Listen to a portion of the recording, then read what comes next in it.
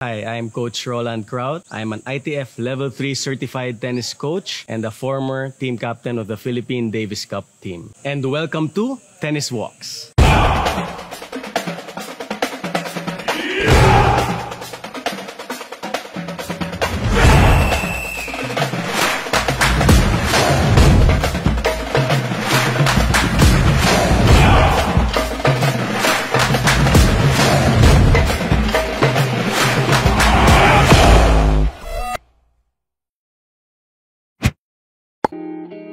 Our next drill is the traffic light drill. With the same students, the three advanced junior players.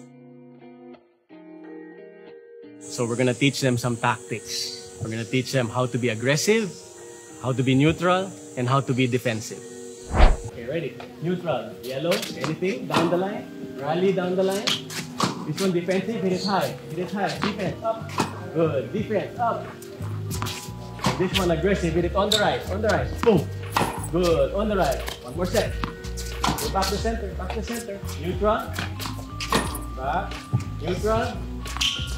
Okay. Defensive, up, up.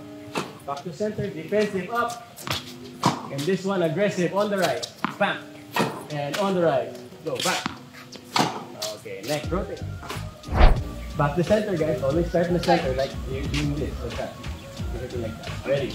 On the side, neutral, rally. Good. Back to center. Rally. Back to center. Defensive, up. Good. Defensive, we can play. Good bounce. Left, good. Aggressive, on top. On top. Boom. On the right. Good. Closer. Closer. Take it, take it on top next time. Rally. Rally. Okay, back to center. Defense. Up. Yeah, up. Good. Back. Up. Now take this on the right, on the right. Drop it. Go. That's it. Good. Take it on the right, on top. On top. Boom. Just like any sport, let's not forget to ace the basics. With enough practice, you can improve your game. Tune in for more next time and let's awaken the champion in you here on Tennis